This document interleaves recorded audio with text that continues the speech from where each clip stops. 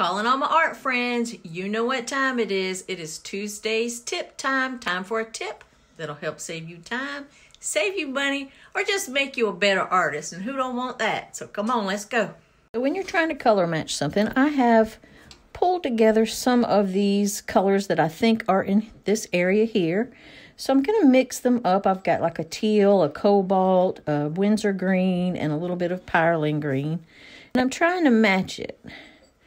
And I can't really get it just right, it feels like.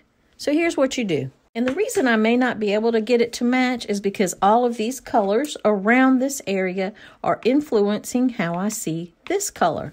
So what you can do is get your watercolor paper that you're trying to match it on cut out a hole punch, then put it directly over, directly over where you're trying to match. And now I can see that this is much darker than I originally thought it was. So I can continue to just keep mixing until I get the right color.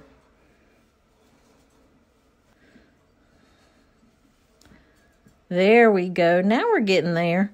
So that's the best way to do it is just to isolate that color away from the other colors that are influencing it by just making a little hole punch in your paper and then match it that way. So follow Art with Viv for more tips, tricks, and tutorials that will help save you time, save you money, or just make you a better artist. Come on now, who don't want that?